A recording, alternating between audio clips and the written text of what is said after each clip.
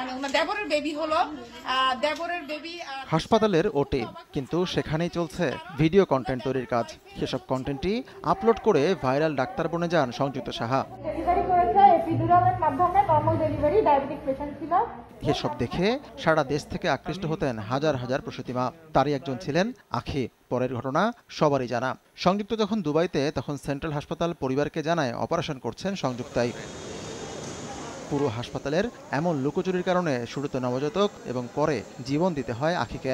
সে ঘটনায় দায়ের করা মামলায় দুজন জুনিয়র চিকিৎসক গ্রেফতার হন কিন্তু ধরা ছোঁয়ার বাইরে আছেন সংযুক্তা এবং হাসপাতাল কর্তৃপক্ষ।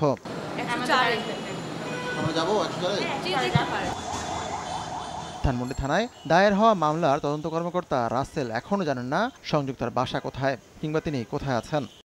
লোকেশন দ্বারা আমি একবার পাই ঝালমন্ডি একবার পাই উত্তরা।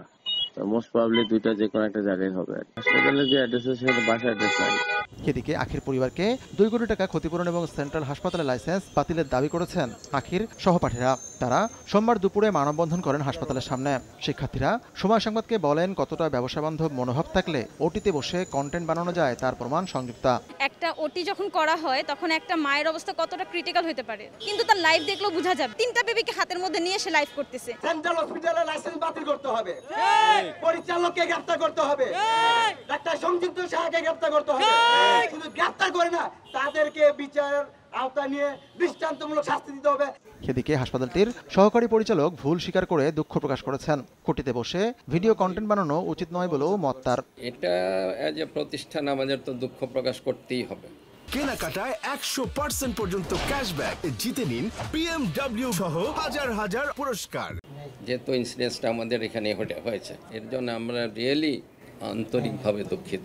এখন আমাদের ইনকোয়ারি টিমের ইনকোয়ারিটা শেষ হোক তারপর একটা কোনো কনক্লুসিভ কিছু বলা যেতে পারে। যদিও স্বাস্থ্য মন্ত্রণালয়ের আদেশ অমান্য করে ইতিমধ্যেই চালু করা হয়েছে সেন্ট্রালের আইসিইউ যা আবার গণমাধ্যমে পড়ে শোনান এই কর্মকর্তা।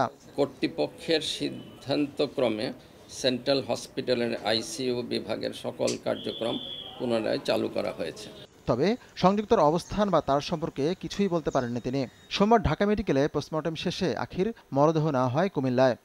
সম্প্রতি সেন্ট্রাল হাসপাতালের ভুল চিকিৎসায় শুরুতে নবজাতক এবং পরে জীবন দিতে হয় আখিকে। সংযুক্তা নিজে না থাকলেও শত শত রোগীকে সেন্ট্রালে তার অধীনেই ভর্তি করাতো হাসপাতালটি। সেন্ট্রাল হাসপাতাল সম্পর্কে সোমবারও কথা বলেন স্বাস্থ্যমন্ত্রী। জানান, হাসপাতালটি কোনো অনিয়ম করে থাকলে ব্যবস্থা নেওয়া হবে। সেখানে যদি কোনো ডাক্তার অনিয়ম করে থাকে বা তার সাথে আরও যারা কাজ করেছেন, তারা অনিয়ম করে থাকে, তাহলে তো আপনারা জানেন, আমাদের দেশে যে আইনি ব্যবস্থা আছে সেটা প্রয়োগ করা হয়েছে এবং প্রয়োগ করা হবে। হাতিকুর রহমান তামাল সময় সংবাদ ঢাকা।